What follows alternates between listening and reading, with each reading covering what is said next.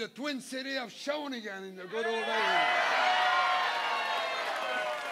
And I used to come here with my good friend John Munro and my good and very shy Sheila Copps, who was my deputy prime minister and a great member of parliament. Alors, je suis content d'être avec vous. C'est un après-midi tout à fait nouveau pour moi. Ça fait des années que je n'ai pas fait ça.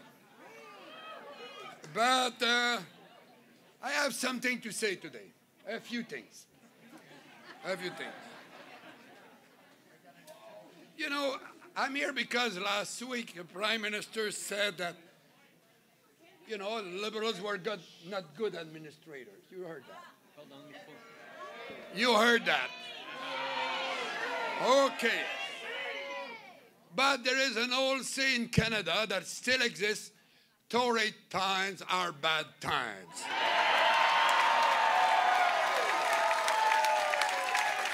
I've been around for a few years, and when I was a kid, you know, there was a terrible economic time under Bennett, and King had to restore prosperity. Mr. Pearson had to do the same thing for Mr. Diefenbaker. We had a big recession in the 90s, and the Liberals are to be back with me to restore prosperity in Canada. You remember that? And now, Justin, you will have to do the same thing for Harper.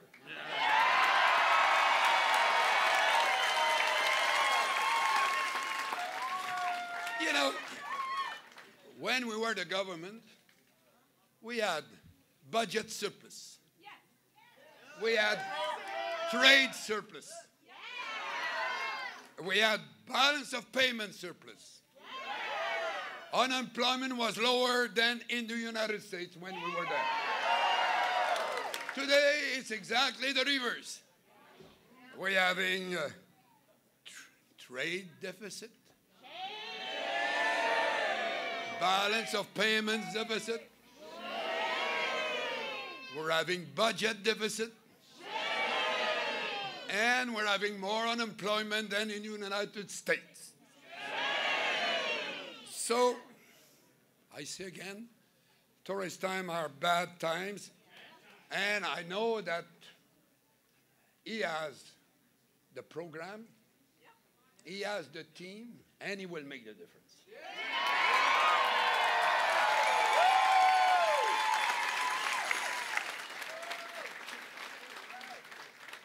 So, I watch TV like all of you. And I saw what is happening in Europe and in Syria. And I wrote a letter to the newspaper yesterday, and I said, I'm very sad and very unhappy about the response of Canadians.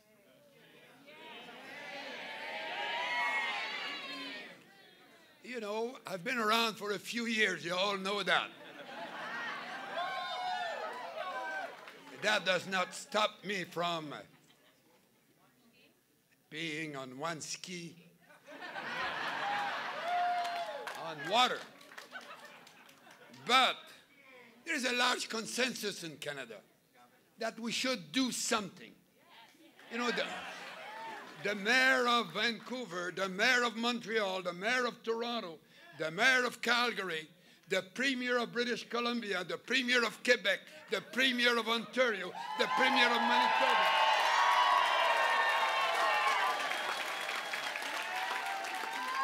A few hours ago, Rick Hillier, who was the chief of the army for Harper, gave hell to him in a way, you know. He didn't use the name, but it's what I understood.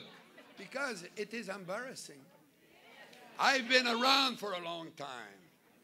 I remember in the 40s, in the 50s, when uh, we had refugees coming in Canada from uh, Hungary. After that, we had the Ismailian and others from Uganda. And after that, we have the Vietnamese who came, the boat people. And when I was prime minister, we welcomed the Kosovar, five, more than 5,000 in one year. And, and there was no debate. There was no controversy. It was Canada opening the arms. It was what Canada was in those days.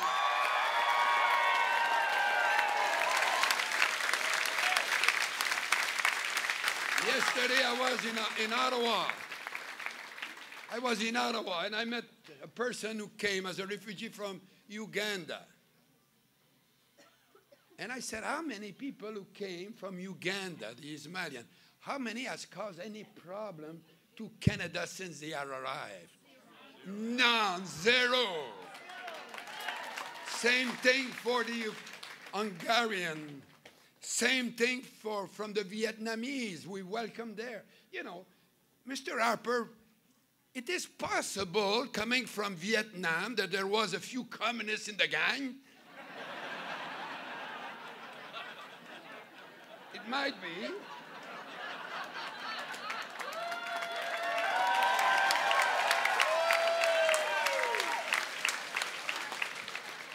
What do you know? I'm not a communist. so, you know, it's embarrassing because I'm traveling the world. And everywhere I go, they say, What's happening to Canada? Where is the Canada that we have known? You know, for the first time in the history of Canada, we lost the vote at the UN to have our seat at the Security Council. You know, I met the former president of, of Portugal one day and the former prime minister of Portugal in New York. And they said to me, we did not, we don't believe that we defeated Canada. You know, I was, I was embarrassed. I was very embarrassed. I had to brag a little bit. I said, if I had been there, you would not have run. But uh,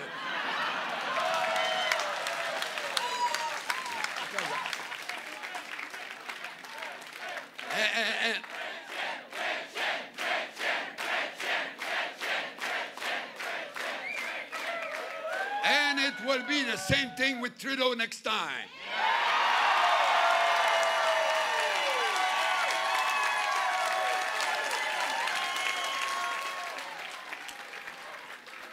And uh,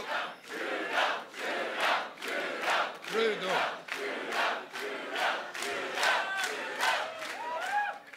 Now I'm here, and apparently I was supposed to speak here. It was in the news.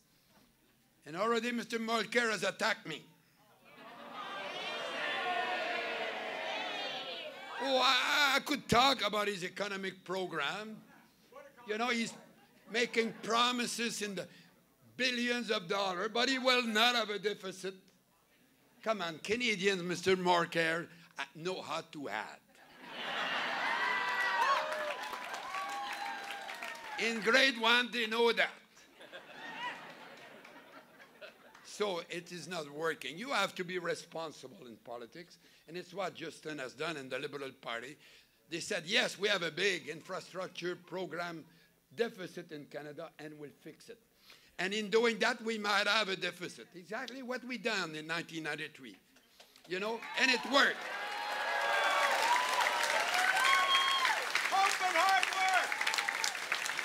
Because we need to repair and we need to fix the infrastructure of Canada.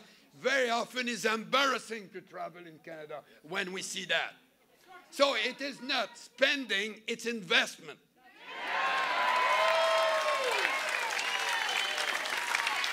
to borrow money for food is bad, but to borrow money for a house is good. So we have to keep that in mind. And I spent a few years of my life talking about Canada. And, uh, you know, I heard that Mr. Mulcair was to abolish the Clarity Act. to pander. I'm not a panderer very much, you know that. But it is completely irresponsible. You know, we had two referendums, I was involved in that. Two questions that were absolutely confusing. One was 110 words. Are you for motherhood and against sin? I was tempted to vote yes. so now I passed a law so that the people will know what they're doing. In those days, all the polls were telling us there's 20, 22, 23% who want to separate in Quebec, but not the rest. But when you say, I want a new deal, everybody wants a new deal. My wife sometimes wants a new deal.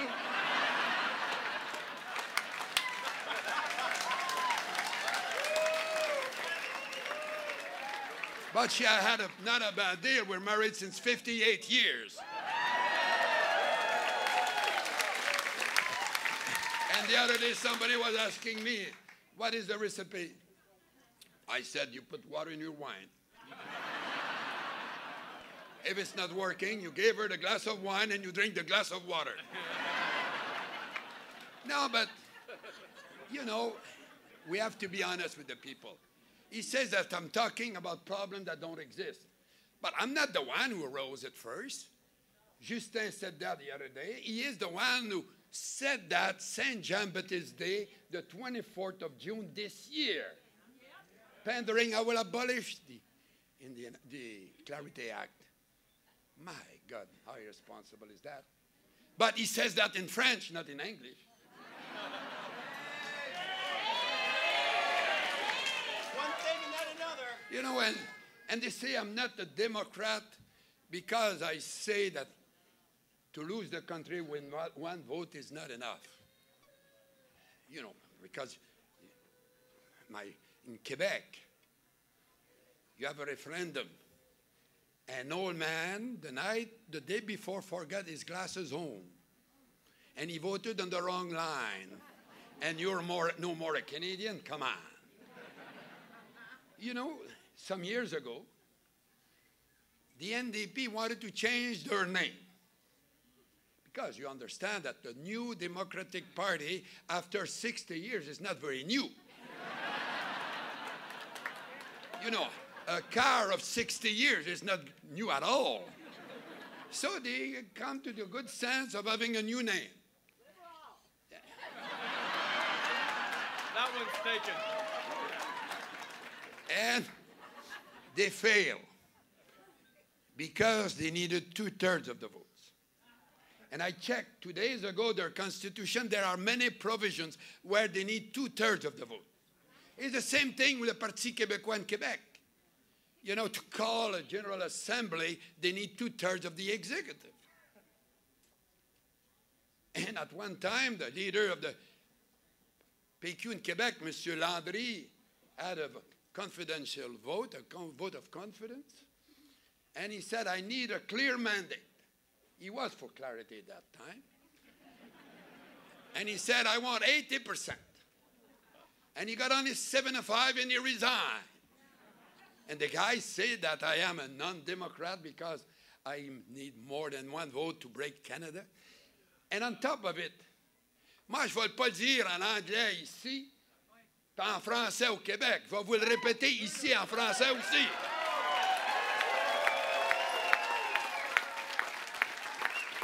C'est irresponsable pour essayer de gagner des votes de vouloir abolir la loi sur la clarté. Parce que, non, il faut être honnête, les gens au Québec ont le droit de savoir quelles seront les règles avant. Un chef de, gouvernement doit prévoir, doit anticiper. Il ne doit pas être là pour seulement régler les problèmes après le coup. Et c'est irresponsable. Parce qu'un pays comme le Canada, on ne peut pas briser ça avec beaucoup de... On ne devrait pas briser ça avec beaucoup de facilité.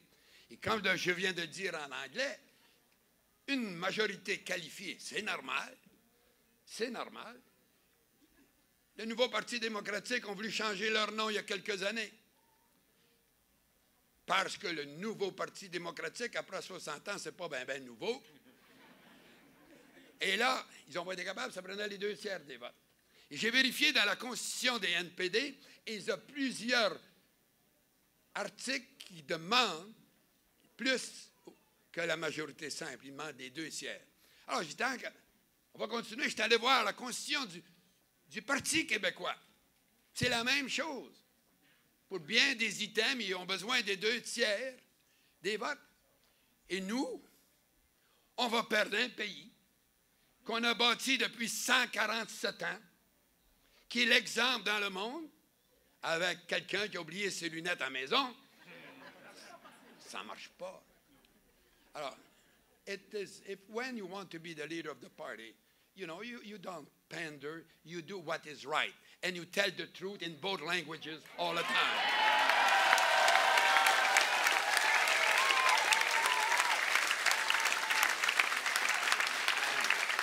Not me. You know, when we voted this law on Parliament Hill, at that time the NDP voted for us. And after that, after we passed the, before passing the bill, I had made a reference to the Supreme Court of Canada. And NDP government supported me to do that. And today, you know, they, they do that just to, because the luck of last election, they got some separatists elected with them. You know, it's, it's not the way to run a country, and it is irresponsible, you know, to not to claim that it's not a problem. Because the moment I'm talking to you, it's clear. It's clear. The new leader of the, of the Parti Québécois said that the next election, it is about separation. So this is not in 10 years. It is in two years and a half from now. And the leader of the NDP party said it's not a problem, but he used it to try to get votes. It is your future that he's gambling. I'm not like that. Neither Justin is like that.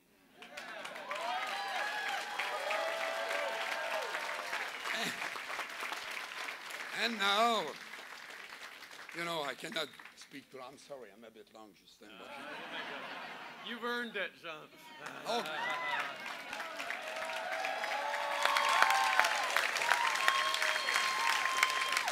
You know, the Tories had had that Justin was not ready. I look up. I look up.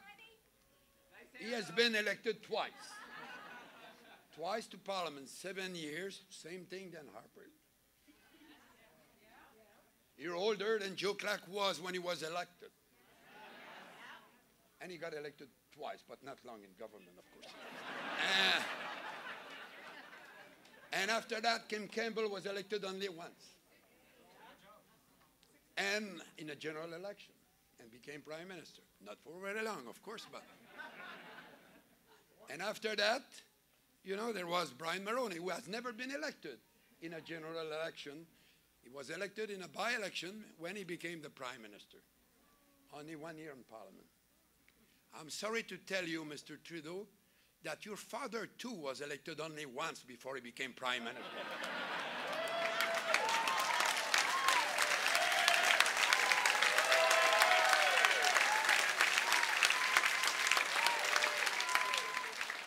and apparently he became prime minister.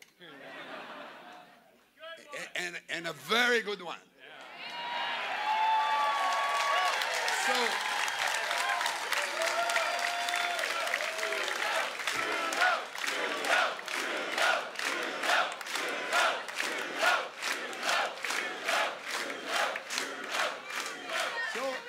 I think that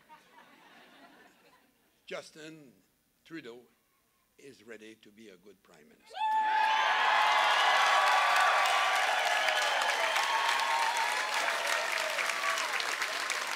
And I think that the Canadians are ready to have a new prime minister.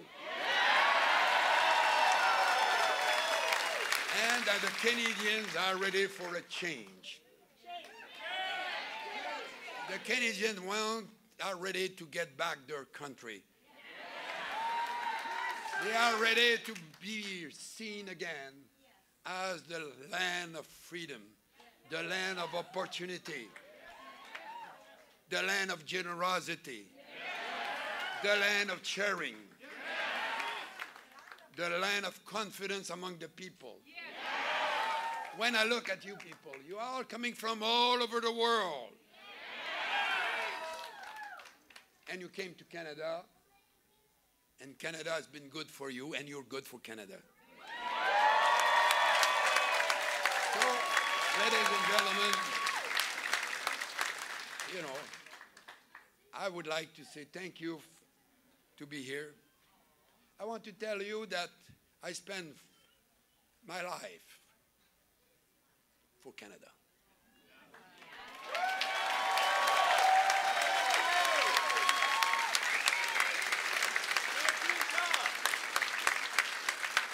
And I want the Canada that we build together to come back. And vive le Canada!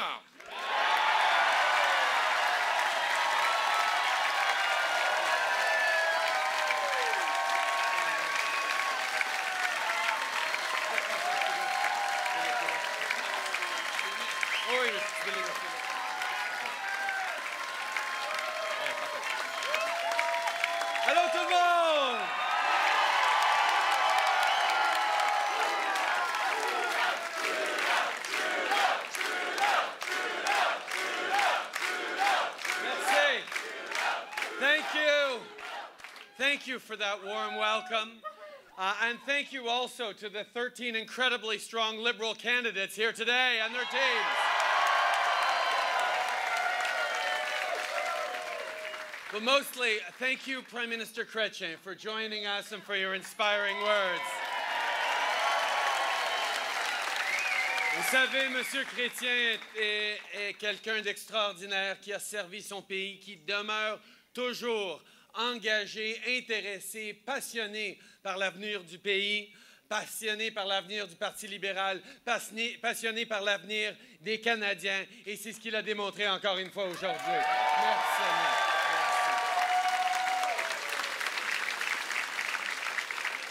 Now, I want to tell you a story that will no doubt sound familiar to more than a few of you. When I was a little younger, I was very lucky to travel across the world. I headed east in my early 20s, just about as far as I could go. And like so many Canadians along the way, I found I was learning as much about where I had come from, about where I was going. I'd already been taught about Canada's founding principles, the ones Wilfrid Laurier so aptly explained all the way back in 1877, not long after this nation was born. When he stood on the plains of Abraham in Quebec City, Laurier saw what most others at his time did not that Canada was a new kind of nation. Se trouvant sur les plaines d'Abraham, à Québec, Wilfrid Laurier s'était rendu compte d'une chose qui avait échappé à la plupart de ceux qui étaient autour de lui. Le Canada était devenu un pays unique. Debout, là où les Anglais et les Français avaient poursuivi des luttes anciennes au nom d'une nouvelle colonie, Wilfrid Laurier a parlé de ce qui s'était passé une fois ce combat terminé. Dans quel autre pays, s'était-il demandé, un monument ferait-il une place égale aux deux adversaires d'une telle bataille, où les noms des adversaires jouiraient de la même reconnaissance, du même respect? Standing where English and French had fought, old battles in the name of a new colony, Laurier spoke about what happened after the fight was over. In what other country, Laurier asked, would a monument commemorate both sides of such a battle, where the names of each side would be equally honored and equally respected? In that moment, Laurier wasn't looking back at a war between the English and the French. He was looking forward to a united country.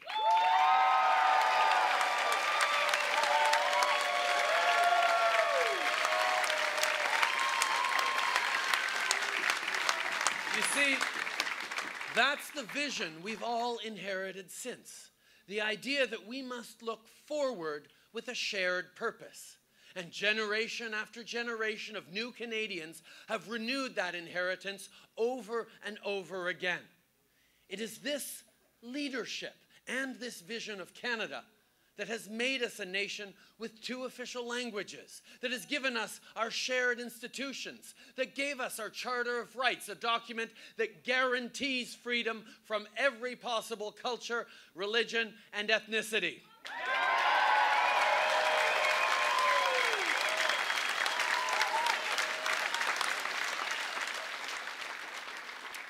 Cette dualité qui cimente les fondations du Canada a fait de nous, une nation avec deux langues officielles. Elle nous a donné nos institutions. Elle nous a donné la charte des droits qui protège les libertés de tous, peu importe leur culture, leur origine, leur religion. That's what I learned as I traveled. As I learned about the dozens upon dozens of countries that I visited, their customs and their traditions, I also learned about Canada. I learned about Canada's unique sense of inclusion that is so rare and so admired around the world. I learned that to drive, our drive to always move forward, to progress as a people and as a nation, has always been because of our openness. That we are not, uh, we are strong not in spite of our individual differences, but because of them.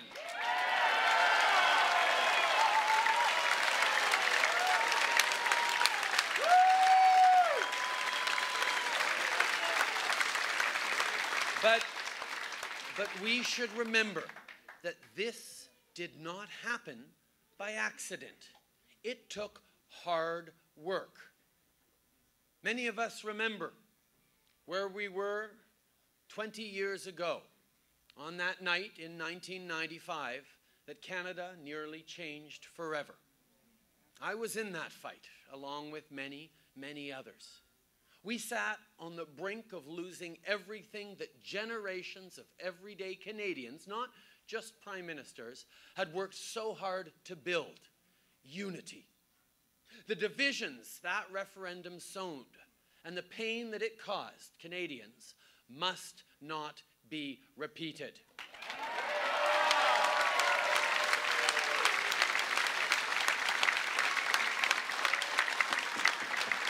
And that is why, after the Supreme Court required a clear majority on a clear question on secession, Prime Minister Chrétien's government adopted the Clarity Act. to protect the rights of Quebecers, to protect all we have built together.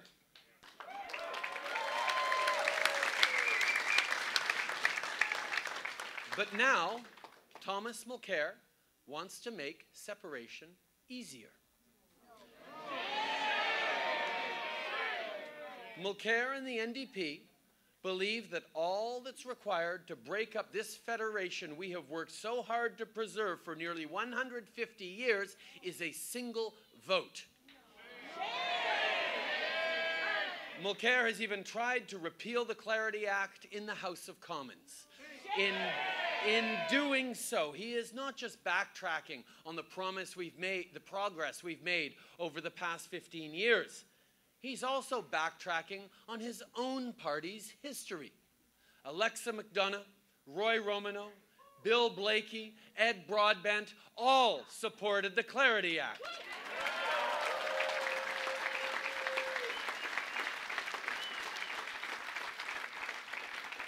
Mulcair he wants to roll the dice. He wants to put separation back on the table and turn the clock back 20 years. Which means which means all of Thomas Mulcair's experience in politics has simply taught him one thing to play politics with anything and everything, including the unity of this country to gain a few votes from separatists. That's not leadership.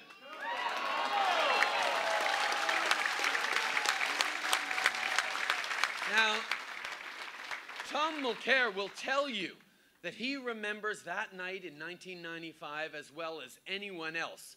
So he should know better than most the consequences of what he is recklessly proposing.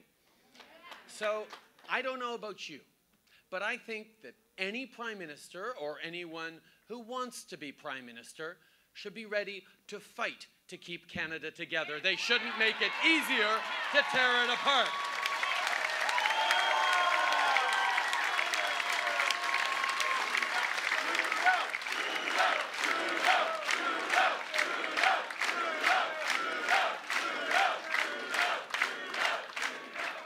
It's a prime minister's job to protect our unity. It's a prime minister's job to build a better Canada for everyone. Et l'unité nationale n'est pas seulement importante au niveau de nos valeurs, elle est importante sur le plan économique. Que ce soit dans le milieu des affaires ou de la culture, le Canada et le Québec ont besoin l'un de l'autre pour prospérer. Nous devons respecter nos différences, mais aussi travailler ensemble pour atteindre nos objectifs communs. Pensez à tout ce que nous avons accompli depuis le jour où Laurier a parlé des principes fondateurs du Canada ce jour-là à Québec. Avec raison, les Canadiens s'attendent de leur premier ministre qu'il travaille pour l'unité du pays et non pas qu'il rende sa division plus facile. My friends, Fighting for national unity doesn't just make good sense, it's essential for economic stability too. Whether it's in business or in culture, Canada and Quebec need one another to prosper.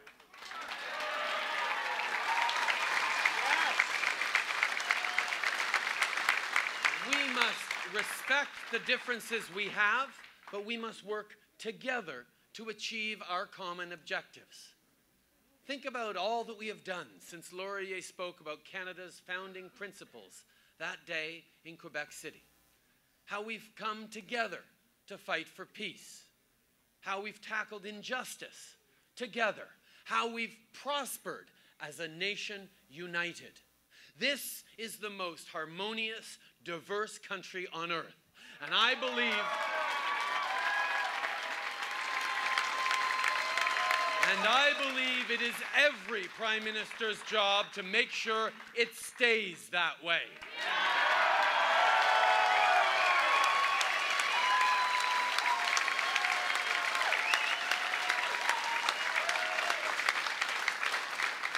Après dix longues années, nous connaissons les conservateurs, divisés pour mieux régner.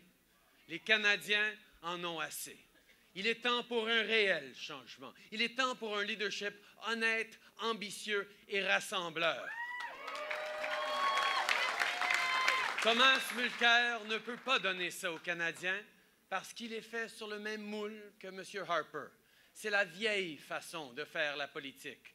My friends, after 10 long years of uh, 10 long years, we know what we get with the Harper conservatives divisive politics that pit one region against another, divisive language that encourages Canadians to be fearful of one another.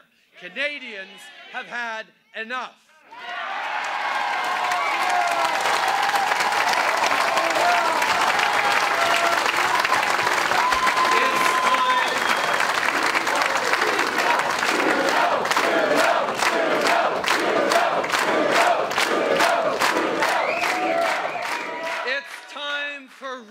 change. The, the kind of change that Mulcair can't bring because his experience in politics has taught him to play politics with everything. I know we can do a lot better. My friends, this is Canada. And we know what Laurier knew. We know what Prime Minister Chrétien knows. Better is always possible. Thank you.